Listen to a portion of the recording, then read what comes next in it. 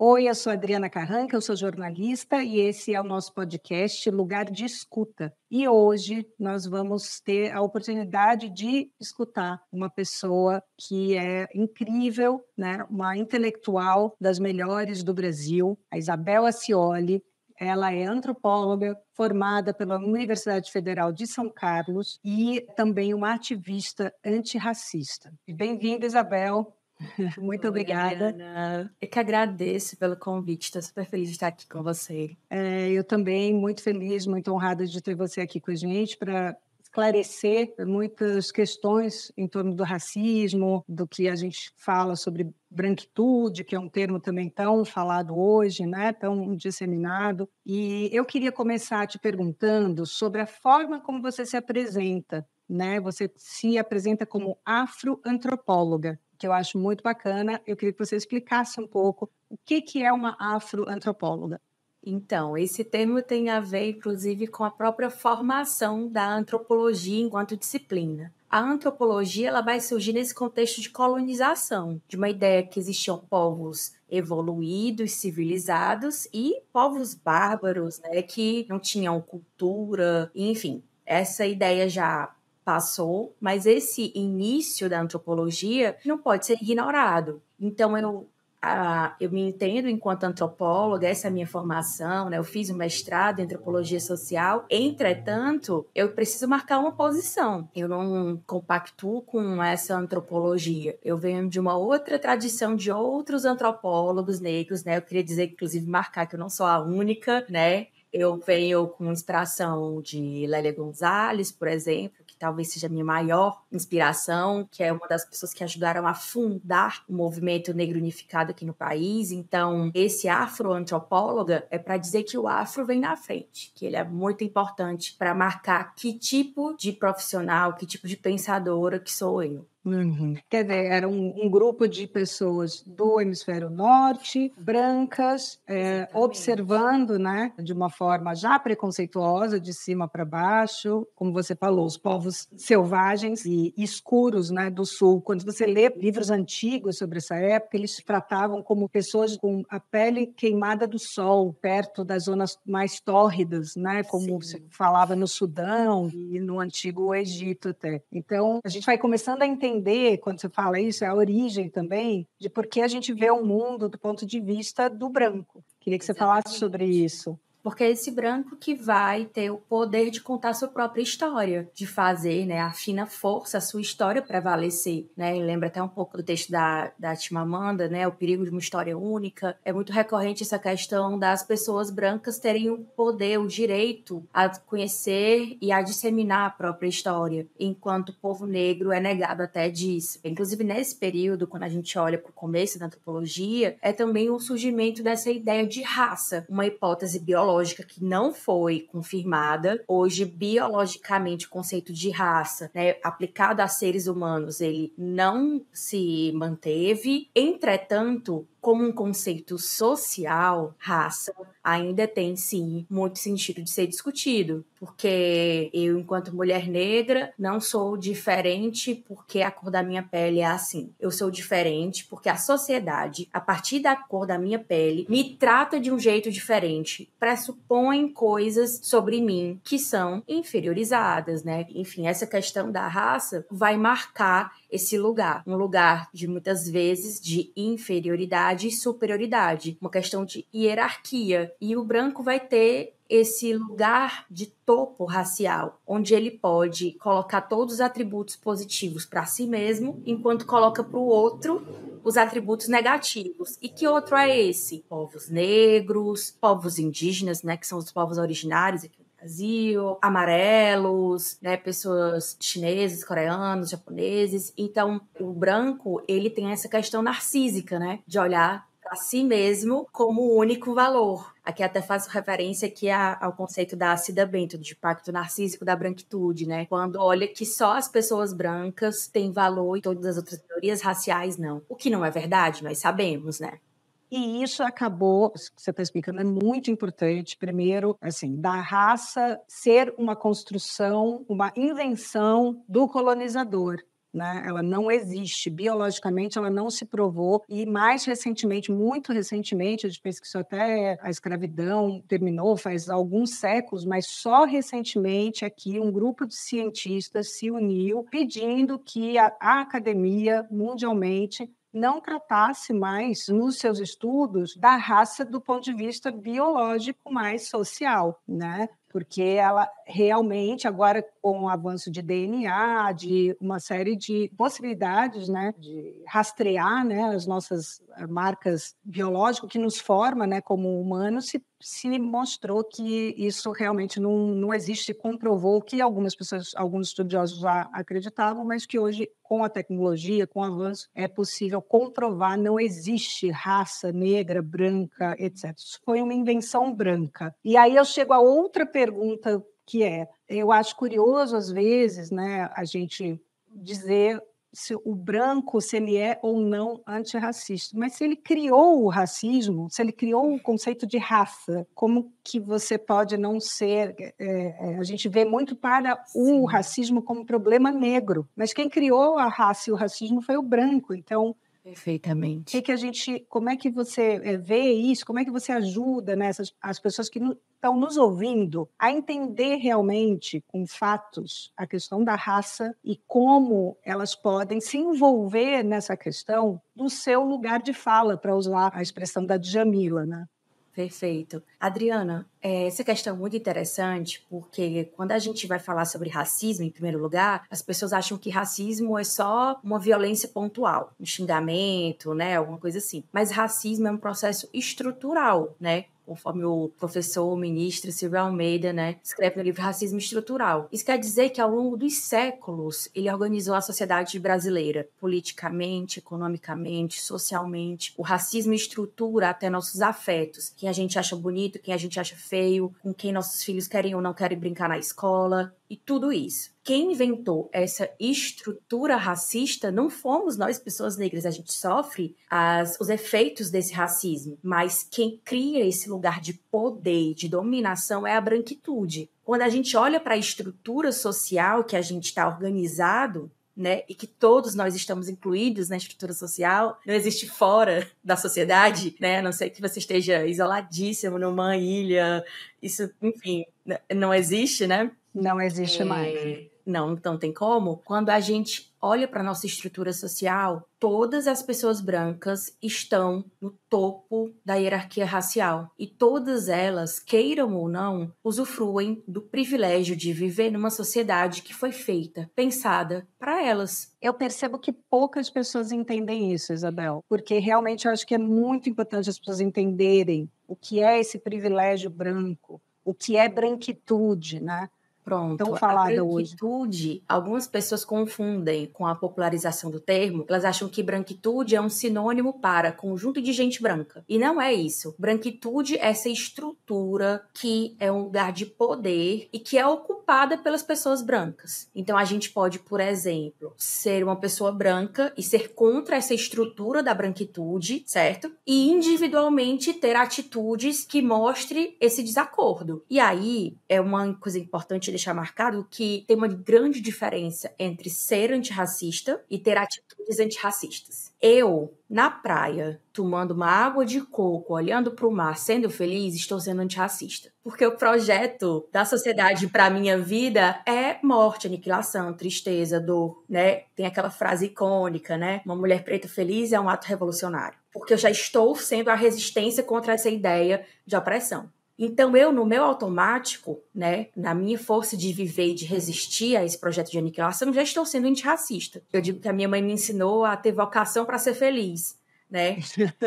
e aí, esse é o maior legado dela. E enquanto pessoas brancas, elas não estão no antirracismo automaticamente como nós, pessoas negras. O branco, ele tem que todos os dias desligar aquele piloto automático desligar aquele interruptorzinho que fez com que ele acreditasse desde o primeiro dia que ele era superior aos demais. Isso fere o ego branco Muitíssimo. Então, quando eu falo nas minhas aulas, inclusive, que todas as pessoas brancas são racistas porque estruturalmente ocupam esse lugar de branquitude, que é um lugar de poder, essas pessoas acham que eu estou fazendo um ataque pessoal a elas. E tem várias reações, né? De raiva, de choro, de tristeza, de como eles usam com a gente, eu vou usar de volta, né? De mimimi. e aí, isso fere eles demais, né? É incrível. Um dia desses eu tava conversando com uma amiga, até na internet, falando: Nossa, essas pessoas brancas que escutam essas coisas assim, branquela e fica com raiva, ela não aguentaria um dia sendo negra, né? Porque ela é muito frágil. e essa questão do privilégio, né, que você me perguntou, do que é, que é o privilégio, o privilégio branco, é o privilégio branco ele é formado por dois tipos de privilégio. Um privilégio material, que é herdar ao longo dos séculos, fortunas, dinheiro, posições de poder, né, que é monetário, de bens, de consumo, e tem privilégio que é simbólico.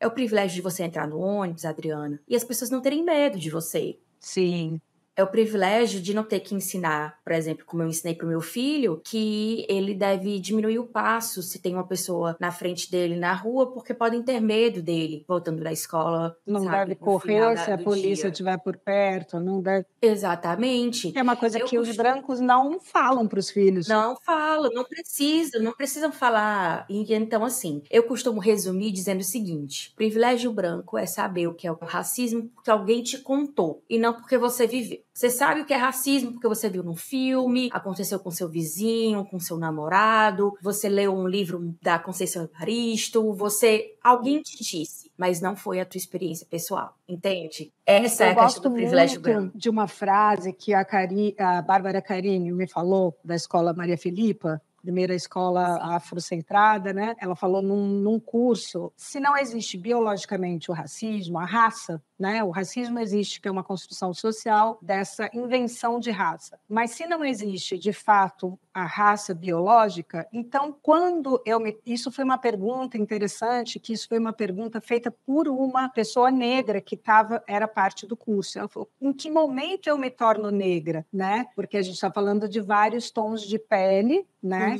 É, e a realidade é que existem pessoas de vários, nós temos uma grande escala de tons, né, de pele e nada mais. Então, se é assim, em que momento eu me torno negra, né? Em que momento eu tenho o direito de usufruir de cotas, por exemplo, programas de cotas? E aí a, a Bárbara brilhantemente respondeu: o racismo né? Ele não se revela pela cor, a raça não se revela pela cor, né? Ser negro não é uma questão de cor, mas de dor. Então, você se torna negro no momento em que você começa a namorar uma menina e os pais não querem que ela namore porque você tem um tom de pele X. Você se torna negro quando, como aconteceu com uma pessoa da nossa família, nós morando no mesmo bairro, meu marido nunca foi parado pela polícia, no mesmo tempo, no mesmo bairro, e essa pessoa foi parada sete vezes pela polícia no mesmo bairro. Então, o racismo ele acontece nesse dia a dia que nós, que os brancos, não sentem na pele,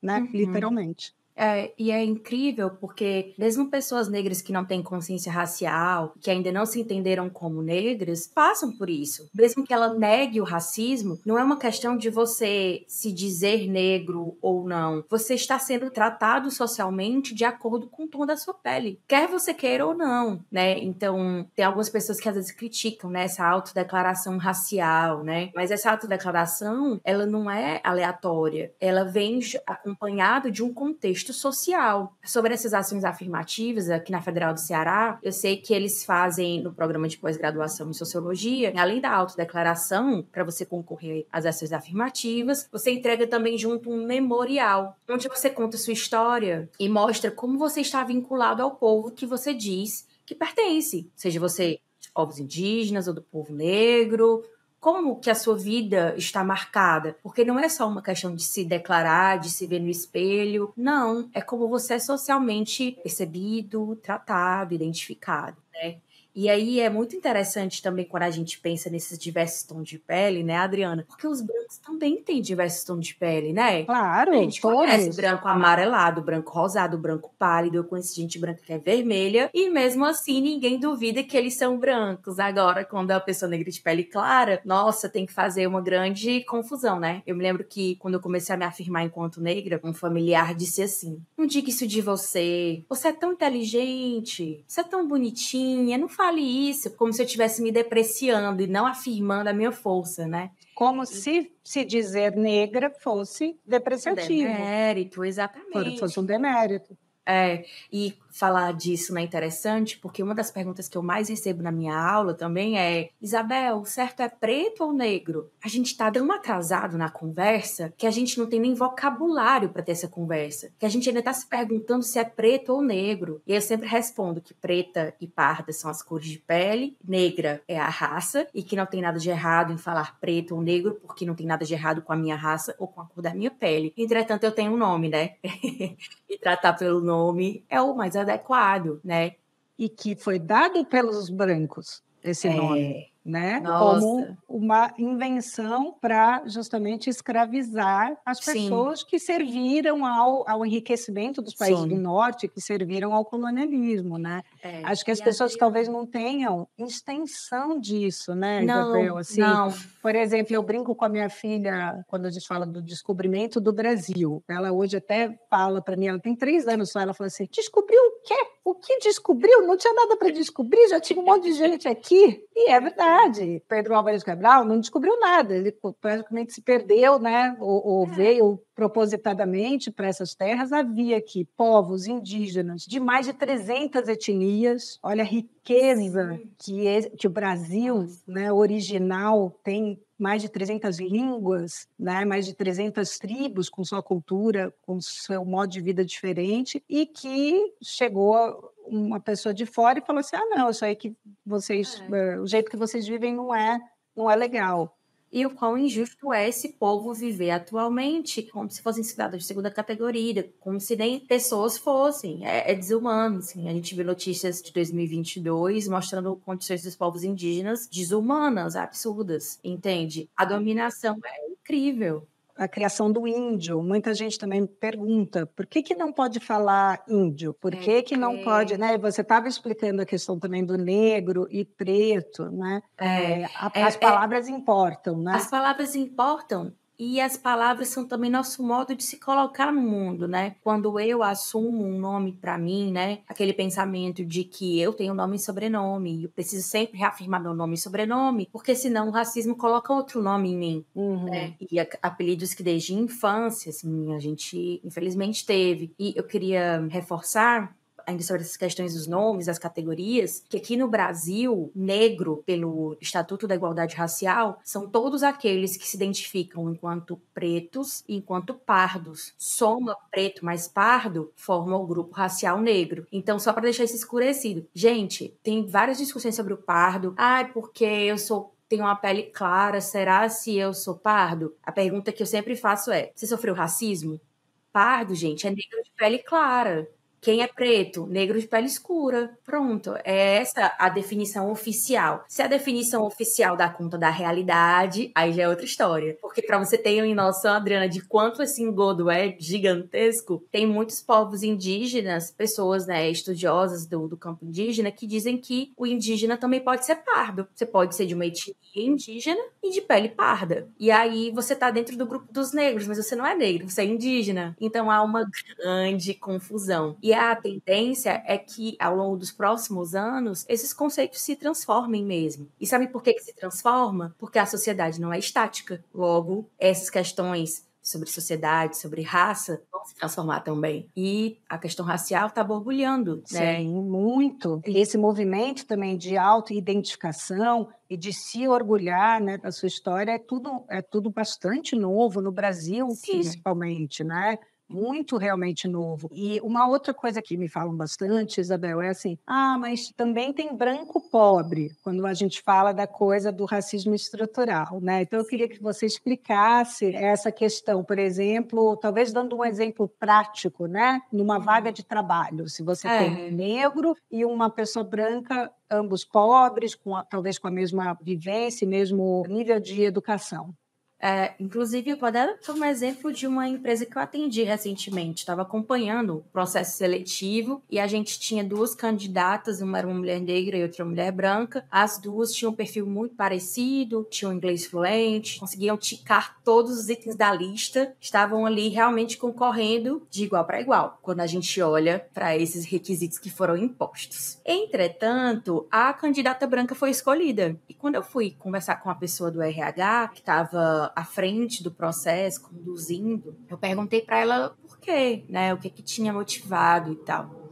E ela me disse que sentiu uma confiança. Ah, é a fulaninha me passou mais confiança, sabe? Ela me lembrou muito eu quando eu era mais nova. Então, isso é racismo estrutural. Exatamente, porque ele se infiltra na pessoa de tal forma que ela sequer percebe, porque ela no automático vai reproduzir todo o racismo que foi introjetado nela. E aí ela passa de ser uma mera espectadora desse racismo estrutural para ser uma agente. Ela tem responsabilidade nisso. Então essa ideia da confiança ela é branca. Eu vou até fazer aqui um pedido para as pessoas que estão escutando a gente, né, aqui nessa conversa. Pense nas pessoas que você confia. Qual a cor dessas pessoas? Você confia nelas para quê? Qual o nível de confiança? Então a confiança, né, em quem a gente tem confiança é branco. Até a, simpatia, né, Isabel? Se, a gente nem percebe por que simpatiza, talvez, mais com o branco e não percebe que, né, nesse, nesse caso que você mencionou, por que que essa moça se simpatizou mais com a candidata branca? Ela não percebe que isso vem de anos e anos, desde criança, né, em que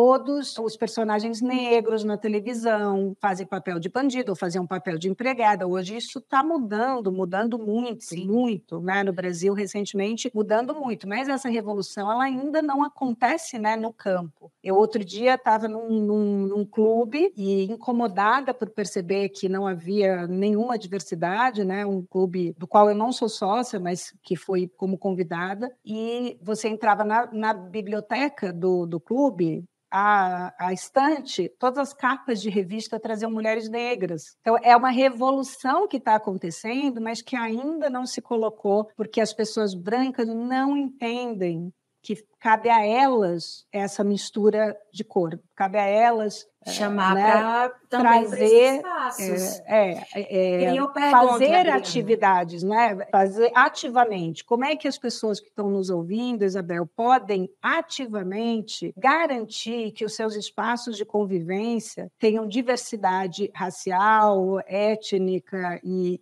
e diversidade no geral, mas o assunto aqui é racial, então diversidade racial. Quando estava falando, eu fiquei pensando nesse clube. Será que as capas de revistas de mulheres negras tinham também junto pessoas negras no clube? Porque não, tem uma questão. Exato, gente, é Sim, né? exatamente. É isso que eu estou falando. Não gente... tinha ninguém no clube. É, uhum. Todos brancos. Eu não vi nenhuma pessoa negra no clube. E, os, e eu, me chamou a atenção isso. Eu falei, gente, está acontecendo uma revolução nessa mudança. Ela está acontecendo na TV, nas mídias, né? Você vê as capas da revista valorizando a beleza da mulher negra, enfim, em qualquer trabalho, em qualquer profissão, né, o talento, etc. No entanto, isso não passa para o ambiente que a gente frequenta. É um, uma situação que eu costumo resumir assim. Adoram a cultura negra, odeiam os negros. Adoram ouvir as nossas expressões artísticas. Adoram, né? Mas daí não chamam gente negra para festa, entende? Mas coloca um CD, coloca a playlist da pessoa negra lá com a música para tocar, mas aí chamar para dançar já é demais. Chamar para ir na sua casa já. ah, não. Deixar de ser é sócio muito. do clube. É uma provocação que eu vou te fazer com relação a isso, né? Porque as pessoas não percebem também, eu acho, esse tipo de racismo. Não é consciente esse ódio ou essa recusa né, de, de, de, conviver, esse preconceito tão enraizado. Né? Então, tem muitas pessoas, quando a gente fala sobre racismo, que elas falam, ai, mas eu não vejo cor.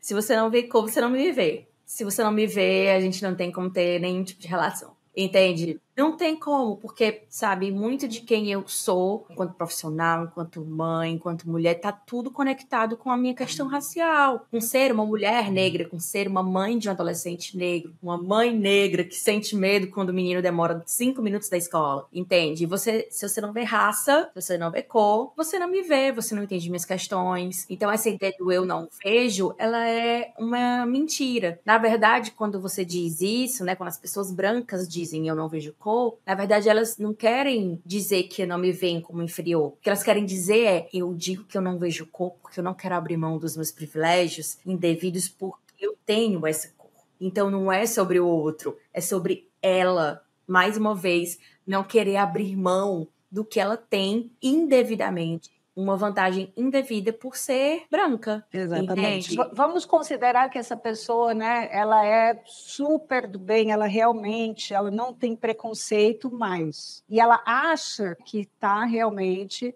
sendo legal, né, vamos dizer, porque não vê cor. O que ela está querendo dizer é que ela não diferencia ninguém. O que as pessoas não entendem é se a sociedade diferencia, né, se você não tem igualdade no mercado de trabalho, no Sim. acesso à escola, no acesso à educação, você precisa enxergar isso, porque essa Sim. pessoa, não porque isso diferencia as pessoas negras biologicamente, né, nos diferencia de nenhuma forma como seres humanos, mas porque socialmente, sim, existe sim. uma diferença de tratamento, não é isso? Você sim. falou sobre isso, sobre o tratamento, a forma como se é tratado.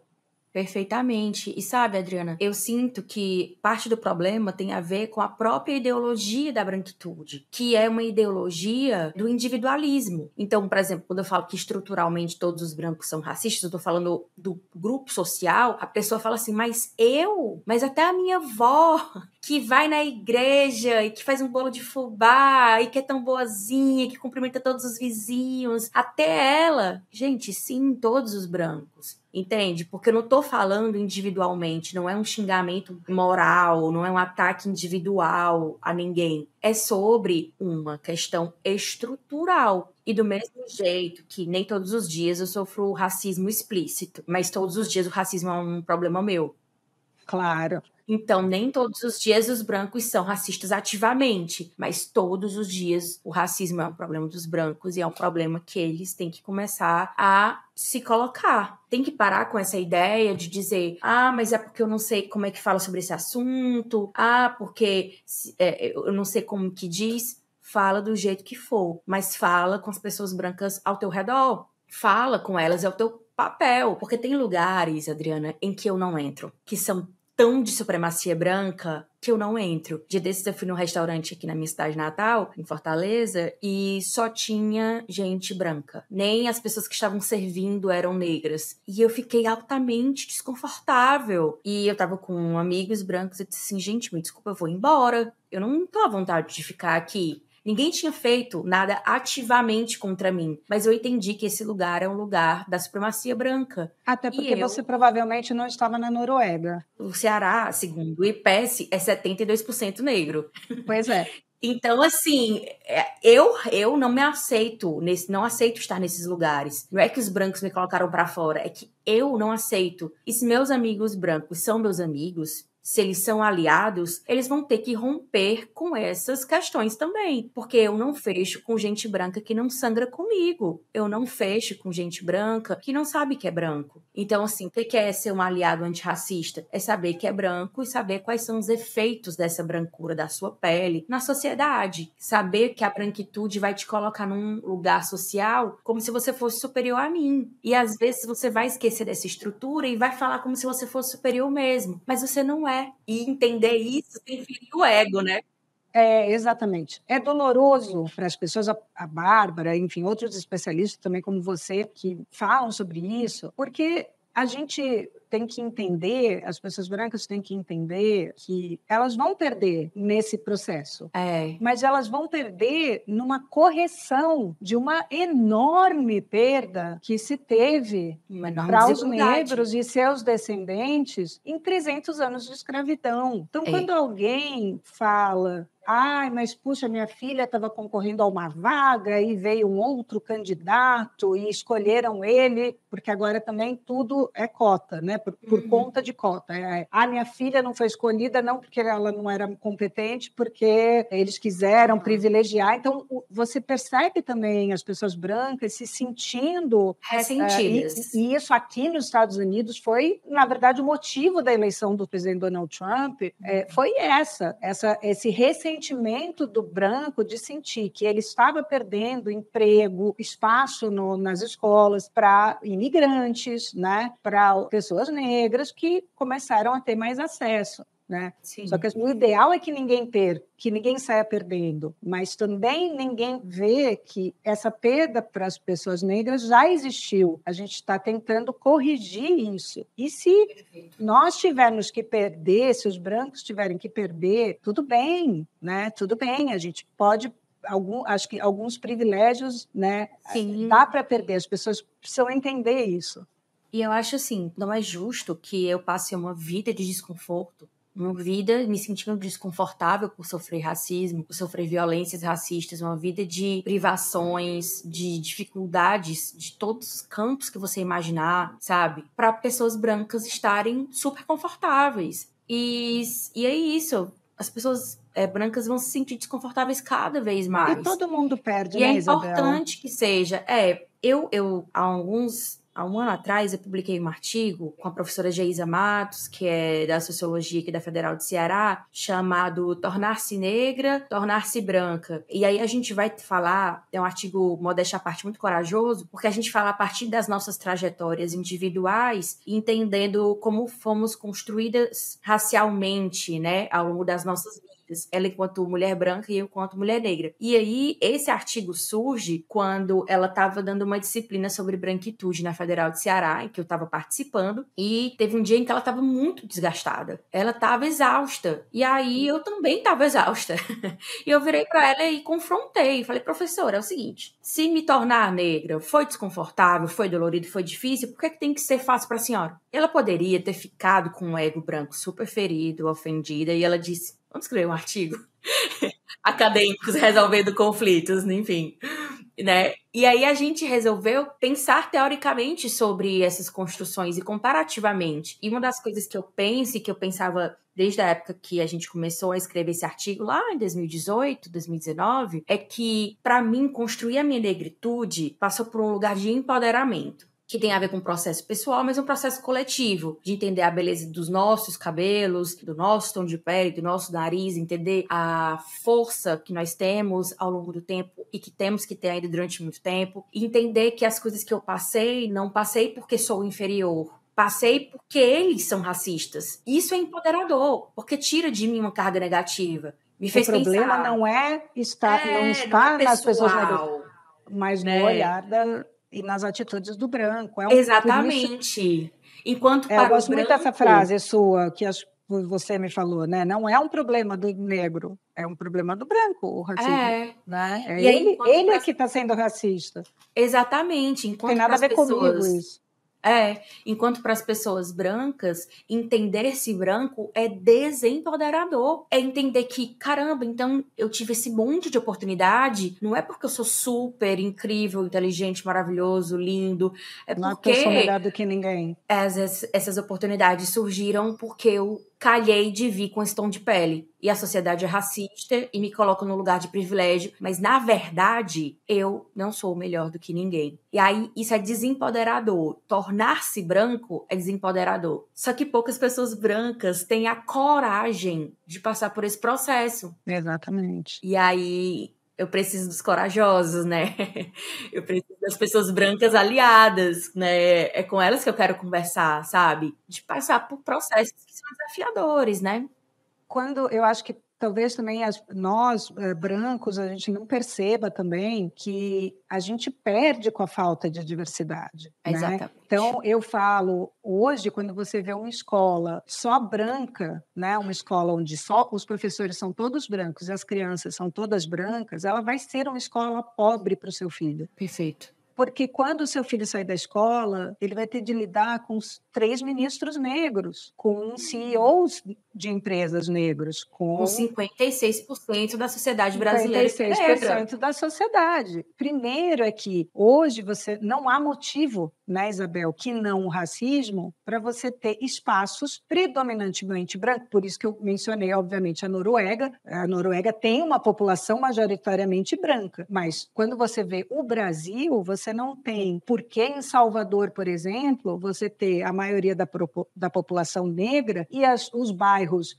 ricos são totalmente brancos, né? Não tem. Não tem então, eu acho que os brancos precisam se perguntar isso, né? E eu passei por esse processo por conta da minha filha. Você sabe, eu acabei te procurando Sim. por uma questão pessoal, né? Para quem está nos ouvindo, eu acabei procurando a Isabel por uma questão pessoal, porque também me, me, me espantei para o meu próprio racismo, mesmo sendo uma jornalista, mesmo sendo há tantos anos cobrindo movimentos sociais, questões raciais, né? E não perceber a extensão disso, porque você só percebe pela dor. E foi pela dor da minha filha, né, de se perceber diferente em alguns espaços, que eu me toquei de que como que isso ainda pode existir, né? Que eu comecei a perceber que é, existem ainda guetos, né, espaços totalmente brancos num país de maioria negra, né? Mesmo Sim. São Paulo, que acho que são 46% da população, se não estou enganada, negra, você ter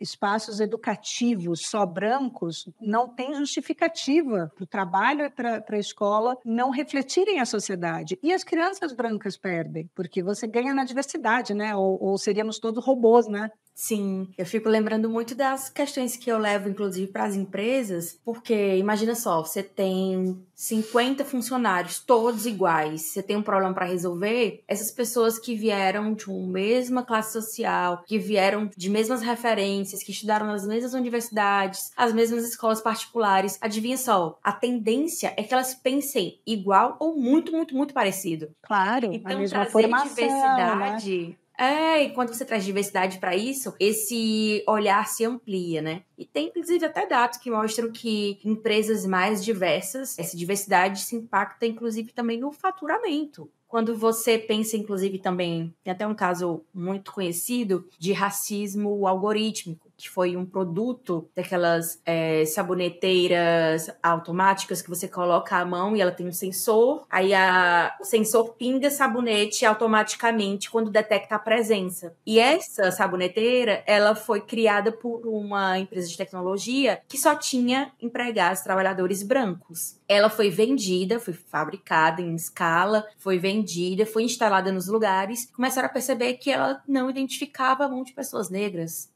tiveram que recolher todos, imagina o grande, enfim, custo que isso teve, o um prejuízo gigantesco para a empresa, porque ela não tem diversidade. Então não é só num contexto assim subjetivo, sabe, gente, que a gente está falando aqui. É prático, é prático. Você deixa de atender uma grande parcela da população, que é um mercado consumidor também. E deixa de aprender com ela. Exatamente. Se perde muito, né? Porque também eu, eu me incomoda as pessoas que olham para essa questão como ajuda, como filantropia. Uhum. Ah, eu vou ajudar, então vou, vou fazer isso na minha empresa. Não, você não está é. ajudando ninguém, você está se ajudando, né? Eu lembro de uma amiga que é antropóloga também, está fazendo doutorado em antropologia no Museu uhum. Nacional e ela, um tempo atrás, né, entrou no. passando pelo processo seletivo, entrou por ação afirmativa. Quando eu fui parabenizá-la, eu disse: parabéns ao Museu Nacional por ter você, Lucy, porque agora é uma, obviamente claro. uma, uma parabenização meio irônica e meio verdadeira, porque, entende, essas instituições também ganham muitíssimo com um olhar refinado de pesquisadores que não são mais do mesmo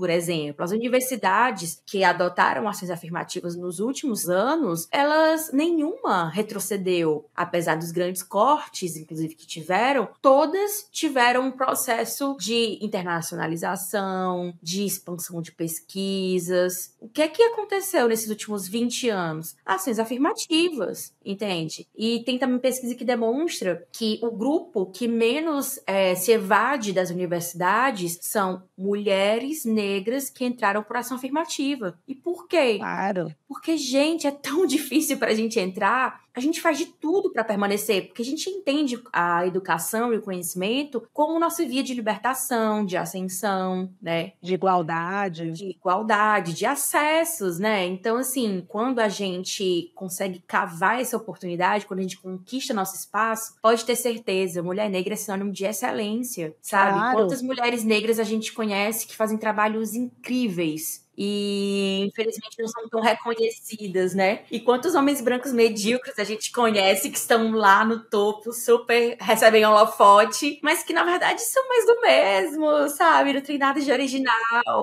É, eu acho curioso quando tem um monte de herdeiro de grandes famílias brancas e ricas é, debatendo meritocracia, sendo que Nossa. ele nasceu com uma conta bancária que vai financiar todos os seus estudos e tudo mais Sim. o que essa pessoa quiser. Então, realmente, as pessoas têm que é. parar. E, e, essa questão, claro, quando a gente fala em, em raça, parece que é também uma forma, quando a gente quando você fala, por exemplo, ah, o, é sofrido, né? O, o, branco vai sofrer, ele vai perder. Se você está cansado, por que que... Se eu sempre estou tão cansada, por que, que você não pode cansar um pouco agora, né? Não é uma coisa que ninguém deseja. Não é algo que nós queremos, né? Nós gostaríamos que a sociedade fosse, tratasse como a, o fato que é todas as pessoas de forma igual. Mas nós vimos, depois do fim da escravidão, que isso não aconteceu. Então, a gente realmente precisa agora entender que a gente vai ter que ceder. E acho que esse papel dos brancos é, é muito importante. Acho que você também me ajudou a enxergar o meu lugar de fala nessa Sim. questão.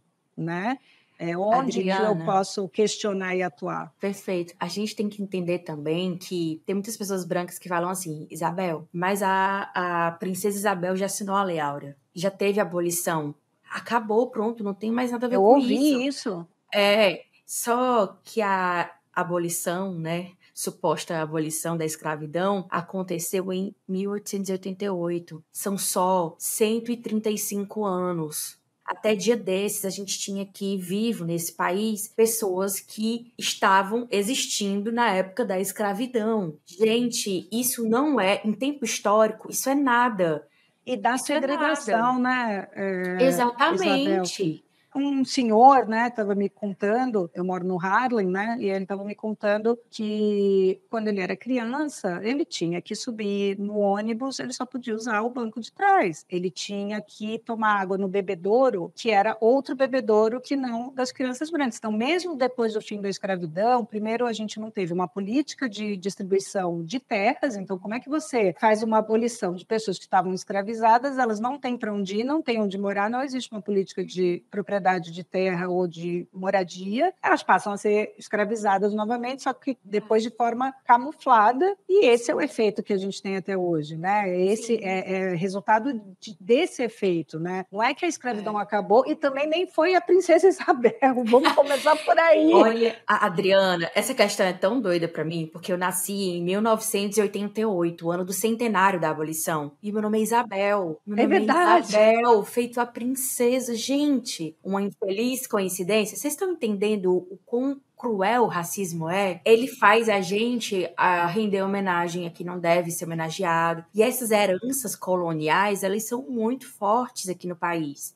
Aqui no Brasil, eu não sei qual outro país que tem pequenas senzalas nos apartamentos, gente. Nós temos pequenas senzalas, que não é um quarto, não é um terceiro quarto, não é um quarto extra, é um quarto do lado da cozinha, minúsculo, entende? Então, assim, a gente vive um período de herança colonial. Não temos mais o nome de escravizados, mas quando a gente olha para a estrutura social, a gente continua lá embaixo. A gente não teve mobilidade social, né? Agora a gente está vendo uma, essa mobilidade social acontecer muitas vezes por conta da educação, por conta da primeira da ação de reparação histórica. Qual é a onda de reparação histórica? a entrada de pessoas negras nas universidades públicas brasileiras através dessas ações afirmativas entende? E elas são fundamentais. Eu tive meu filho com 17 anos, sabe? Eu não sonhava em fazer vestibular, Enem. Eu nem imaginava isso. Só fui entrar na universidade com 26 anos.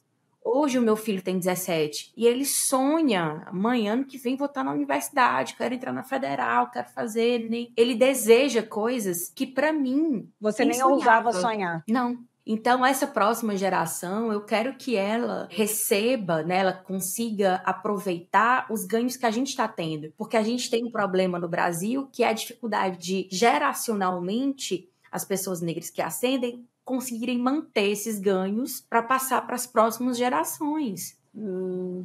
E essa nova é, geração por talvez seja a primeira ainda que... desse, de, desse racismo, racismo, que continua, né? E também é importante, Isabel, que é uma coisa que eu ouço muito, a gente tem que entender que as cotas raciais das universidades, elas surgem por conta de uma desigualdade que vem antes, que é da escola, do preparo das pessoas para a universidade. Sim. Então, você tem a universalização da escola pública, mas você não tem a escola pública ainda com uma qualidade, embora existam exceções, muitas vezes por conta de um esforço fora do comum de professores e diretores comprometidos com a educação. Não dá para a gente dizer que a escola pública se compara à estrutura das escolas particulares, que são majoritariamente brancas, quando não totalmente brancas. Então, existe uma desigualdade no preparo. Claro que isso, isso precisa melhorar, né? a base precisa melhorar. Quando todo mundo começar no mesmo lugar, Sim. Aí nós não precisaremos mais de cota para garantir a diversidade, não é? E as ações afirmativas, elas não são uma política perene, elas são avaliadas periodicamente para melhorar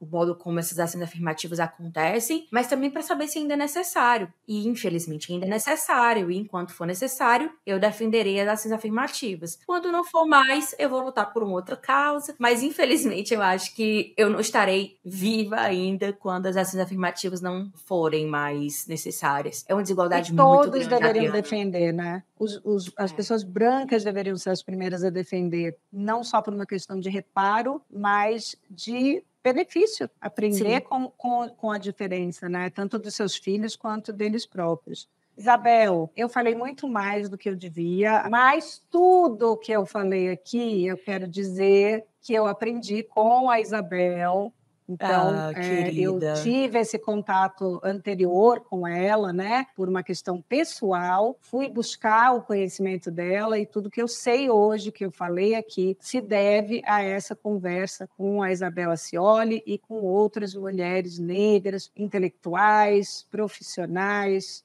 né, que me ajudaram a entender que é meu problema, sim, que isso é um problema meu e dos brancos e que a gente vai ter que resolver o que os nossos ancestrais fizeram lá atrás de errado. Perfeito, Adriana. Muito obrigada pelo convite. Fiquei muito feliz com a nossa conversa. Esse trabalho que eu faço nas redes sociais, como consultora de diversidade, como antropóloga, ele é o que paga minhas contas, né? Mas também é meu propósito de vida, sabe? E quando eu vejo as pessoas realmente interessadas, engajadas, isso me dá fôlego para ter conversas difíceis, sabe? Para continuar na luta. E, enfim, certamente essa conversa me deixa muito motivada a seguir. Muito obrigada, de verdade. Que bom, Isabel. Compartilhe as redes com a gente para uma linguagem mais acessível para todo mundo nas redes sociais, no afroantropóloga, tentando trazer essa discussão, fazer essa discussão mais popular, né? Pode contar comigo. Então, se você, vocês ouvintes, sigam a Isabel, vale a pena, a gente aprende muito. Isabel Acioli, arroba afroantropóloga. E se você é branco, se você frequenta espaços que são majoritariamente brancos ou totalmente brancos, procure a Isabel Acioli ou outras pessoas pessoas, para você saber, outros ativistas antirracistas,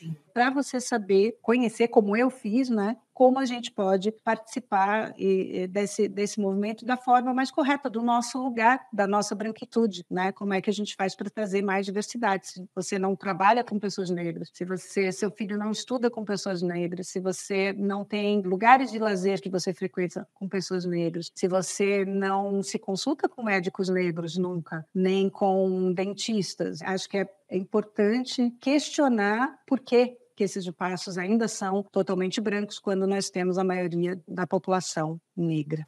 Obrigada, gente. Ah, obrigada.